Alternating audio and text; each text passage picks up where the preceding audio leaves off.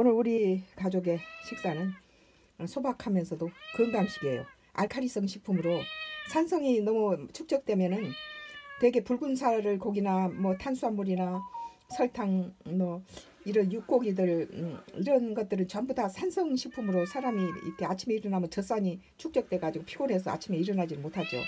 그런데 이게 미역이라든지 생선이나 이런 에, 칠개 요, 요것은 이제 우리 밭에 어, 우리 땅에서 있는 미나리 좀 캐고 이게 전어 100마리 정도를 만 원에 얻었어요. 펄펄 살아있는 걸.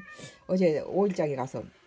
그래서 그걸 작은 것은 이렇게 에, 스- 저기 에, 얄팍얄팍하게 썰어서 어, 초무침을 했어요. 어, 미나리 초무침하고.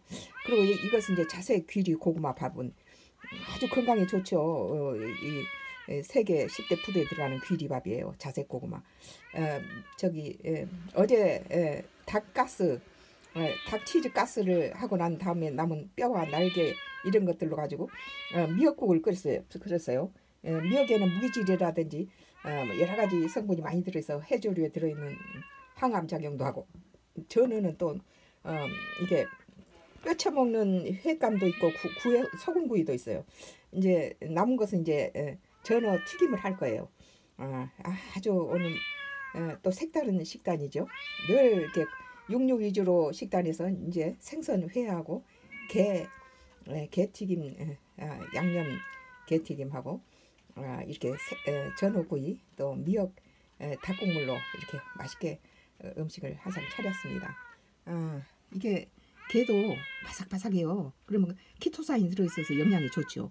이것도 이게 지금 신선한 이게 에, 전어를 어, 작은 사이즈 적은 것만 작은 걸 골라가지고 이렇게 살살 썰고 나머지는 이렇게 구웠어요. 아, 소금구이라고. 이제 다음에는 양념장도 바르고 어, 한 80, 80마리 정도 남았을 거야 아마 70마리 정도 그런 것들을 이제 냉동시켜 놓고 이제 다음에 에, 양념장 발라서 굽기도 하고 튀기기도 하고 그럴 거예요.